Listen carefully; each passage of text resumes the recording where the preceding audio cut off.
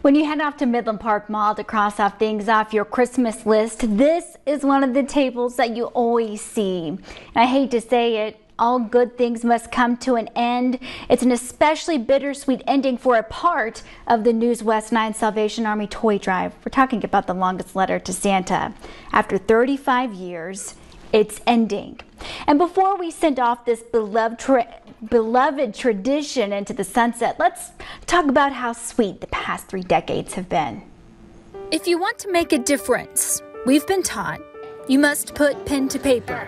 And in this case, you could say Midlanders are on a roll. For more than three decades, children have signed their names, jotted down a Christmas wish, or just a simple greeting to the big man in red. All that's asked in exchange is a $1 donation and a valuable teaching moment, too. It's always better to give than receive. It was just something I came up with, and it kind of stuck. It helped raise a lot of money. Del Bowie is the woman behind the giant idea.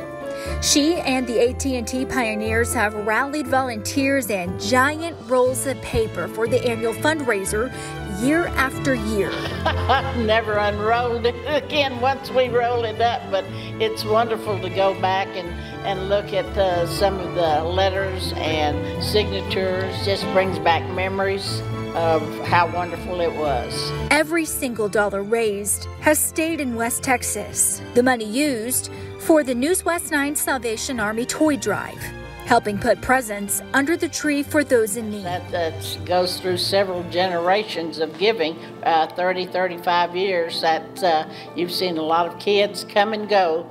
35 years of letters, and this year is her last. Del is ready to retire and has a Christmas wish for her community someone will like to pick up where we left off with the longest letter to Santa and continue that. A wish to continue the giving spirit for even more generations to come.